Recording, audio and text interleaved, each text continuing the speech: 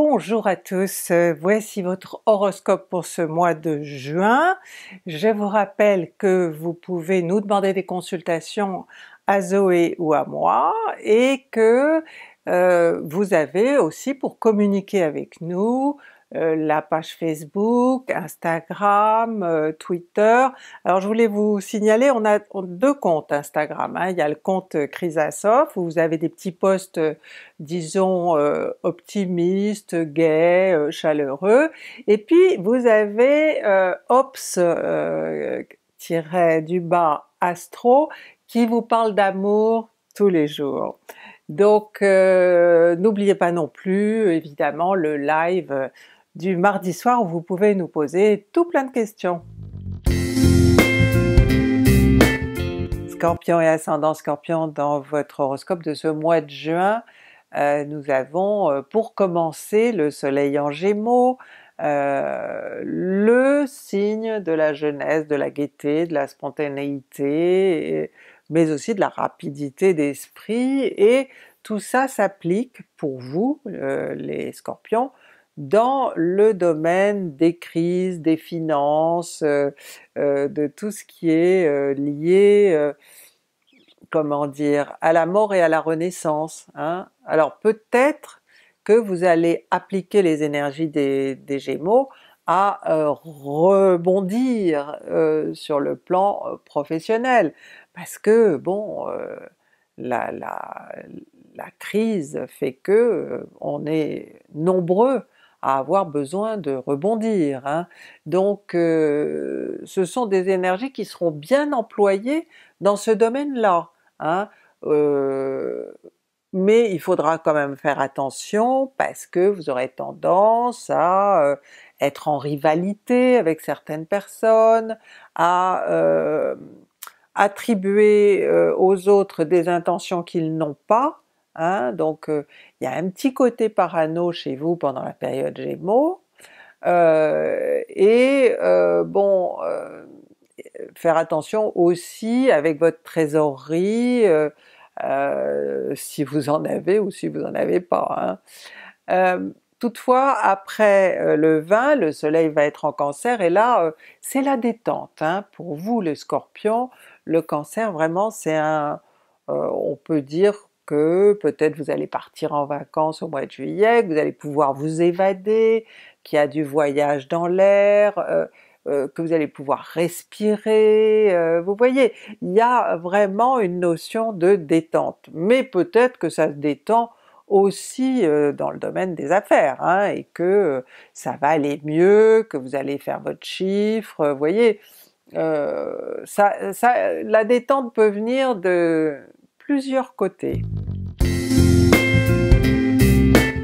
On va parler de Mercure maintenant, votre euh, planète d'échange, de communication, qui gère euh, les négociations aussi, hein. et donc comme elle est en Cancer tout le mois, qui est en, vraiment en, phase avec vous, hein, disons que c'est une très bonne configuration pour vos affaires. Hein. Euh, quelle qu'elle soit, ou pour votre travail, euh, vos activités quotidiennes, en tout cas jusqu'au 18, parce qu'après le 18, Vénus va rétrograder, hein, euh, pas Vénus, Mercure, pardon. Mercure va rétrograder et peut-être que vous resterez sur une affaire qui aurait dû se conclure et qui ne pourra se conclure qu'au mois de juillet, parce que de toute façon, vous aurez satisfaction dans la mesure où Mercure se trouve dans un signe hein, et un secteur satisfaisant pour vous. Euh, alors qu'est-ce qui peut euh, motiver euh, cette satisfaction? Eh bien c'est que vous avez des clients qui reviennent, vous avez des affaires qui se mettent à ou remettent à fonctionner, vous avez peut-être la possibilité de vous déplacer Hein, possibilité que vous n'aviez pas auparavant. Euh, parce qu'avec Mercure, bon, il est souvent question de déplacement, des petits hein, déplacements, des démarches, vous pouvez avoir une démarche officielle à faire, quelque chose à, demander peut-être à, l'administration. Euh, bon, tout ça prenant du temps, puisque Mercure va rétrograder, alors si vous arrivez à faire, si vous faites ça au début du mois, peut-être que vous aurez rapidement euh, ce que vous demandez, mais si vous le faites à partir du 10 et du 11, ou du 11 par là, et que Mercure rétrograde le 18, il y a des grandes chances pour que vous soyez obligé de patienter jusqu'au mois de juillet pour euh, obtenir euh, ce que vous avez demandé. Parlons de Vénus maintenant, euh, qui se trouve euh, elle aussi en Gémeaux comme le Soleil, euh, et mais ça fait depuis le mois d'avril hein, qu'elle y est en Gémeaux, donc vous savez très bien de quoi il retourne. moi je suis pas sûre de savoir, mais vous en tout cas vous savez. elle occupe donc, comme je vous l'ai dit pour le Soleil, un secteur de crise, un secteur de, de rénovation, de renaissance, hein, euh, et qui euh, représente aussi les, frères et sœurs. Hein. Les Gémeaux, c'est souvent les frères et sœurs.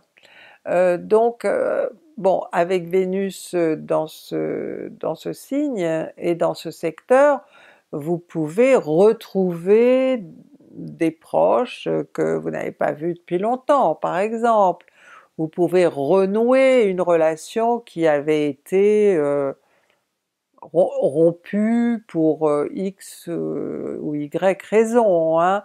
en tout cas, on a l'impression qu'on renoue hein, le fil de quelque chose, sauf que bah, Vénus est toujours rétrograde, alors peut-être que ce fil est renoué de manière virtuelle, c'est-à-dire vous vous parlez par téléphone, vous vous envoyez des textos, des choses comme ça, mais euh, bon il ne se passe rien euh, dans la réalité. Euh, alors Vénus va redescendre jusque dans le premier décan, et c'est surtout votre premier décan qui va être concerné, et qui peut aussi hein, se, être pris de passion pour quelqu'un. Tout d'un coup vous faites une fixette sur quelqu'un qui vous plaît et bon Apparemment la personne ne répond pas puisque Vénus est rétrograde et alors vous vous posez euh, beaucoup de questions. Vous vous tourmentez, vous vous demandez euh, euh, si ce que vous avez senti, ce que vous avez vécu, si c'était vrai, si c'était pas vrai, parce que c'est quelque chose qui date quand même hein, de, quelques mois. Hein, donc moi je pense que peut-être effectivement vous avez pu vous faire un film, mais bon c'est pas sûr. Hein. Attendez que Vénus soit euh, direct le mois prochain et là vous serez euh, vraiment au parfum. On va terminer avec votre planète, Mars, euh, qui ben, elle est en bon aspect. Hein. donc ça, ça peut sauver pas mal de choses. Elle est conjointe à Neptune quasiment tout le mois, donc là il y a une question de comment dire, de croyance, euh, de confiance en vous, euh, de foi en ce que vous faites, en ce que vous entreprenez, hein, Mars étant quand même une planète euh, liée à vos énergies, vous allez très certainement entreprendre quelque chose. Alors certains vont entreprendre de faire un bébé par exemple, et ce sera effectivement la bonne période. Mais attention avec Mars-Neptune, est-ce que ça va tenir? Je ne suis pas sûre. Hein. Euh, c'est vraiment, euh, vous savez la planète de feu, Mars, qui décide, qui est volontaire, etc.